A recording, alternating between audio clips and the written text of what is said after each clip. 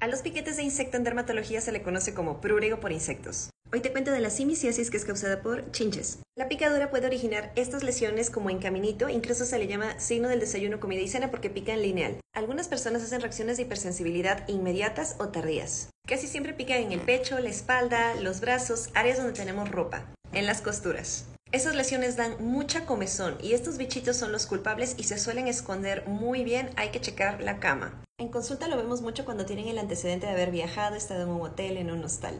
O en áreas comunes, por ejemplo, a mí me tocó verlo y vivirlo en la residencia médica, pues ahí y en el internado en la Mipera. Es donde están las camitas de descanso de los doctores que pues a veces tienen problemas.